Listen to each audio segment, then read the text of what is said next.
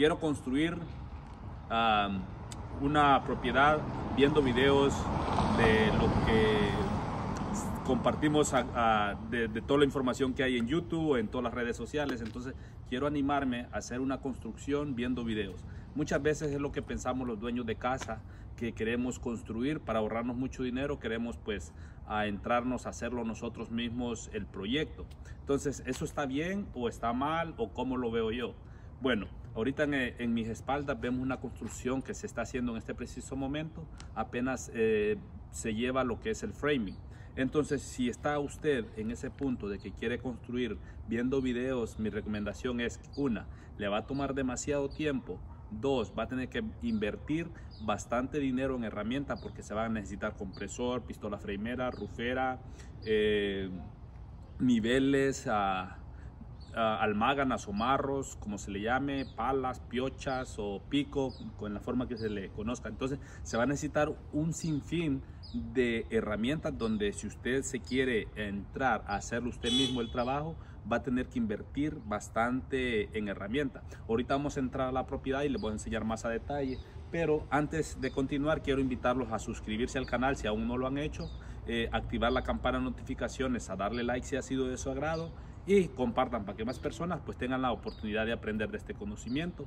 Les quiero compartir toda esta información en verdad para construir un proyecto, una adición, una casa, se necesita de, conocimiento, eh, se necesita mucha información tener uno para poder realizar un trabajo, ¿verdad?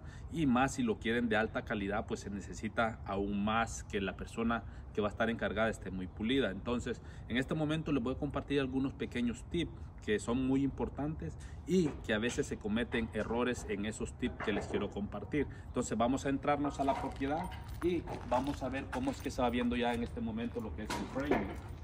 Entonces, eh, para llegar hasta ese punto, que ahorita ya está, pues ya se tuvo que usar mucho conocimiento.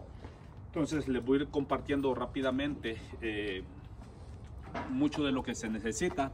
Eh, también los invito a, pasar al canal de YouTube donde va a estar el video completo, puesto que aquí en las demás redes sociales por lo regular es poco el tiempo que nos permiten para compartir, pero vamos a ver si podemos compartir a lo más, lo más esencial y luego pues invitarlos que pasen a mi canal de YouTube a ver el video completo. Entonces, como vemos acá tenemos los andamios o scaffolds que se llama. Eh, pues ya el primer paso pues fue agarrar la aprobación de la ciudad, eh, mejor dicho los planos para someterlos a la ciudad, es el primer paso por decirlo así.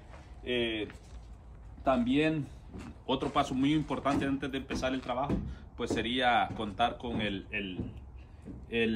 capital con lo que se va a construir, porque si se gasta bastante. Muchos a veces nos preguntamos cuánto dinero eh, cuesta una construcción. Esos son otros temas que después vamos a irlos compartiendo. Entonces en este momento vemos eh, toda la construcción que se ha realizado. Eh, primero fue pues preparar lo que era plomería, de gas, drenaje y de agua antes de hacer las fundaciones tuvo que pasar inspección. Entonces ya luego que se hace la fundación, eh, ya pasó la primera inspección, luego dan el ok para continuar con todo lo que se llama framing, la armazón de madera. Entonces ahorita estamos en ese punto, pero les quiero compartir algo de suma importancia que a veces, eh, muchas veces hay personas que no saben. Y en este momento les voy a compartir algo bastante importante, que las paredes deben de ir reforzadas. Antes, en las construcciones viejas, no llevaban muchos tornillos de estos, que estos van anclados en el cemento. Okay, esos fueron puestos antes de echar el cemento. Luego, e, este sí es algo muy importante que a veces se, hace, que este metal, si vemos, si vemos, si nos enfocamos acá, tiene un pequeño espacio. Entonces, le digo yo que este metal, cuando yo lo atornillaba a la madera, lo ponía pegado acá. No, debe quedar un, un poco levantado para cuando se apriete la tuerca esta, acá. Cuando se apriete la tuerca esta, la tuerca haga que como que siente la, la, el 4x4 y eso le da más resistencia al, a la pared, pues lo que le está dando fuerza. Entonces si podemos enfocar de este lado cómo se ve anivelada la pared, todo hasta arriba. Entonces en este momento eh, así es como se ve bien anivelada, ventanas y todo el framing. Entonces Eh, mi recomendación es que si no tienen mucha experiencia en hacer construcción y apenas se van enseñando, yo les recomendaría que primero eh, sean ayudantes de un buen maestro para que aprendan todo lo esencial porque se necesita como les repito, bastante conocimiento para ver un trabajo terminado. Entonces, me ha tocado ver o escuchar personas que dicen, oh no, yo lo voy a hacer viendo videos en YouTube. Pero probablemente sí, y sea bueno, pues es una experiencia. Si es su hogar, lo puede hacer.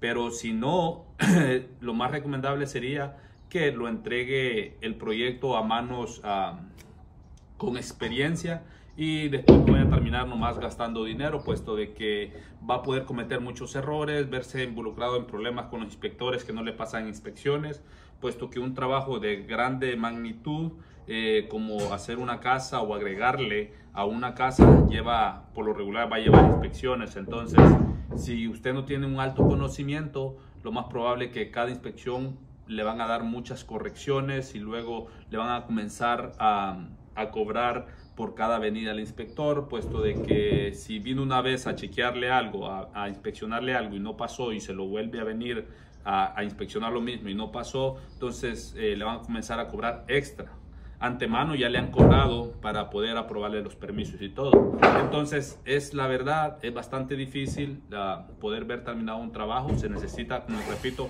mucho conocimiento. Así de que si se anima, pues suerte y esperar que sí logre terminar el, el trabajo con éxito. Y si no, yo les recomendaría pues que eh, lo entreguen el trabajo a manos expertas que ustedes confíen. Algo muy importante también es que hay muchas personas o contratistas que a veces dejan los trabajos a medias por muchas razones, ¿verdad? Que esos van a ser otros temas que vamos a compartir. Así que ha sido un gusto y un placer poderles compartir con ustedes este video, cómo se va viendo. Así que Nuevamente recordarles que si aún no se han suscrito al canal, los invito a suscribirse, activar la campana de notificaciones, darle like si ha sido de su agrado y compartir para que más personas tengan conocimiento del que estoy compartiendo acá en mis videos. Así que fue un gusto y un placer y nos vemos en el próximo video.